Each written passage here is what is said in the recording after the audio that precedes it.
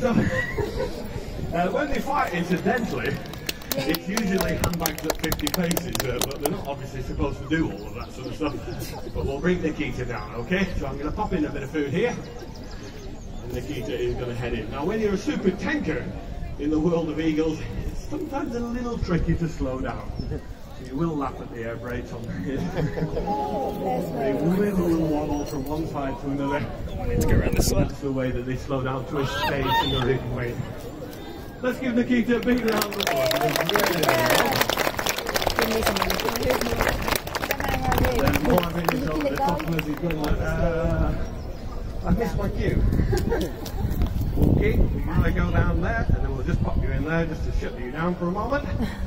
And then we're going to bring Marvin is a bit like the child that has no idea how the brakes work on his bike. So Nikita is reasonably professional on final approach. but he has to be said that Marvin often comes in at high speed, hits the log, and then it falls off the other side. So we'll see what happens when I put some food on here for Marvin.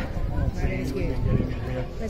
Slow down, Marvin. Oh, that actually was mildly professional for Marvin. anyway. Thank you all very, really big round of applause. Great job for us.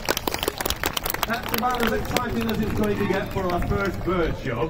Now, if you've enjoyed that, you'll definitely want to come back to the second show, which is at uh, 2.30. We're going to fly a completely different team of birds.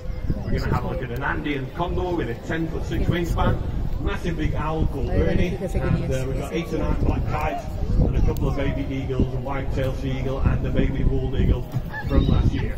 So, enjoy your day at Warwick Castle. Thank you very much, and bye-bye for now.